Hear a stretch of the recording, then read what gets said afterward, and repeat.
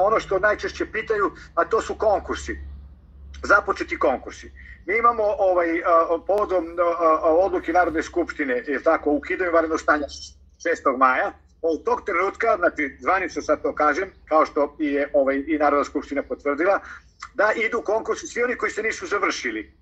Znači, svi konkursi koji su započeti pre ovaj, oglašavanja varednog stanja, nastavljaju se, tako, onda svi konkursi koji su o, o, objavljeni u toku ono samog početka varednog stanja, nisu ni stigli kandidati da se, da se prijave. I oni se nastavljaju i to 30 dana od o, ovaj, proglašenja završetka varednog stanja. Znači, do 6. juna traju konkursi, oni koji nisu završeni, na ovaj ili onaj način. Znači, prvo da to raz, razrešimo. Znači, tu su sad na potezu direktori da realizuju ono što ste vi prosledili.